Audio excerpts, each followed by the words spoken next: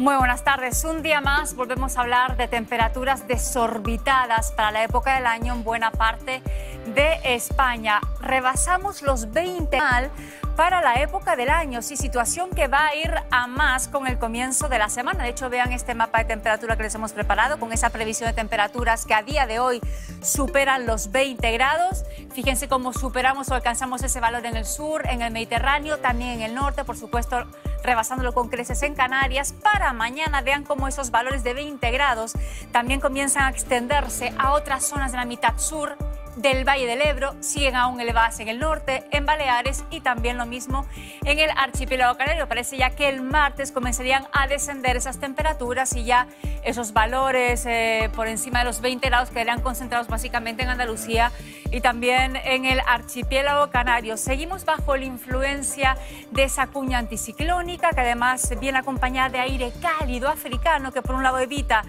el que los frentes y las borrascas puedan atravesar España y que por otro provoca el que las temperaturas, tanto nocturnas, porque han sido cálidas esta pasada madrugada de nuevo, como diurnas, sean mucho más elevadas de lo que sería normal para pleno invierno, para el arranque del mes de febrero. Mañana de nuevo jornada tranquila, estable, marcada por las altas presiones, nieblas de nuevo volverán a apreciarse en puntos del interior peninsular eh, tendiendo a levantar conforme avancen las horas y por la mañana veremos nubosidad de tipo alta afectando a buena parte de la península de Baleares y mayor consecuencia sigue el viento fuerte en costas gallegas y la calima que continúa intensificándose para la jornada de mañana en todo el archipiélago canario. Temperaturas aún esta próxima noche prácticamente sin heladas. El día volverá a ser cálido, incluso caluroso en muchos puntos del país. Vean 21 grados, por ejemplo, en Badajoz, en Cáceres 21 grados, en Salamanca 20, en Ávila, normal para la época del año y así que seguiremos al menos unas cuantas jornadas más. Volvemos esta noche.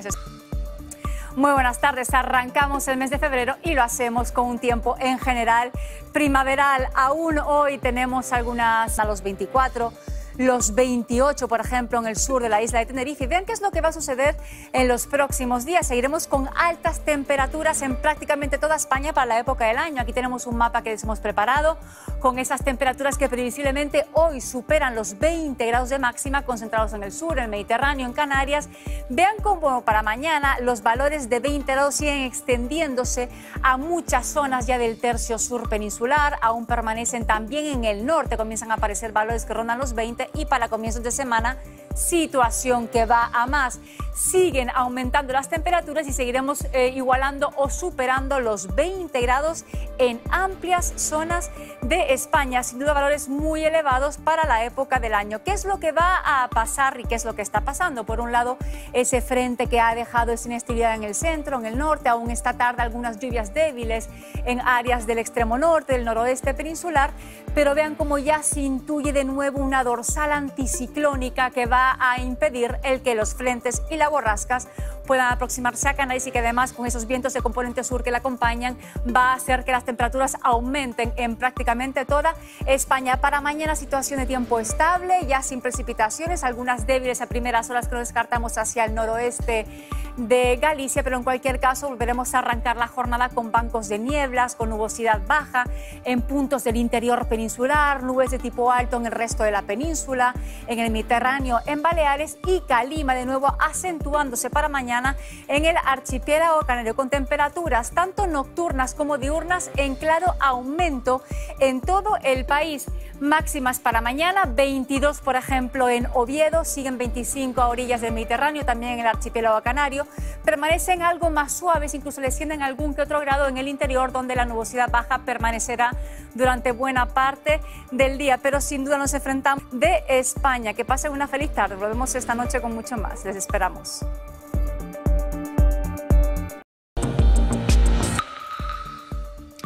Muy buenas tardes. Estamos ya inmersos en un duro temporal que se, eh, tendrá su punto álgido en la jornada de mañana, afectando a toda España. Habían dicho ya las rachas de viento tan importantes que se han registrado en lo que llevamos de jornada, por encima de los 130 kilómetros hora en costas de la provincia de Coruña, en La Rioja también por encima de los 100 kilómetros hora, por encima de los 80 kilómetros hora en amplias zonas del interior y del norte peninsular. Situación que va a ir a más con el paso de las horas.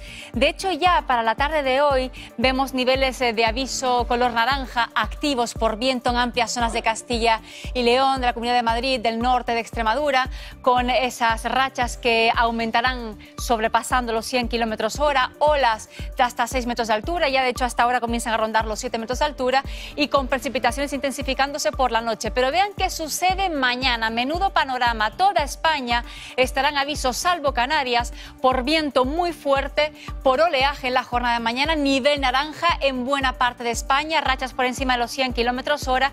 Y a estos avisos, además, también mañana le sumamos los que aparezcan por nevadas y por lluvias. Sí, esperamos, de hecho, nevadas copiosas importantes en zonas del sistema central, eh, Cordillera Cantábrica, en zonas de y que también, especialmente, es el nivel naranja en áreas del Pirineo Aragonés, donde podrían acumularse más de 20 centímetros de espesor. Y todo ello con una cota que en la jornada de mañana irá cayendo hasta rondar los 600 metros en zonas del norte peninsular. Sí, llega marzo y llega el tiempo de invierno a prácticamente todo el país. Hoy tenemos la jornada marcada por el paso un primer sistema frontal que ha dejado ya precipitaciones, esas rachas de viento tan importantes, oleaje.